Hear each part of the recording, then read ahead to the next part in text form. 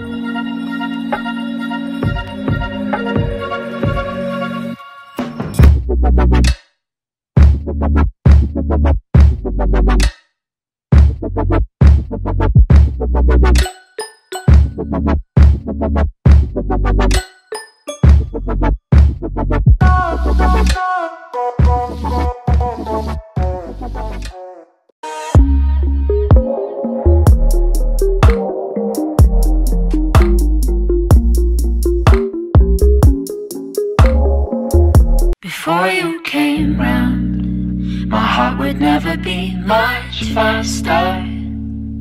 Before you came round, I was ready to slow down. Before you came round, I was heading for a small disaster.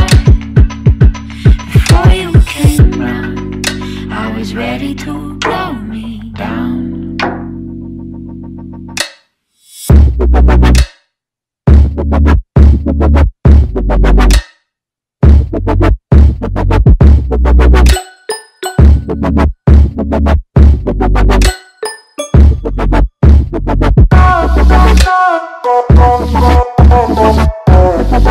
You guys ready for this action?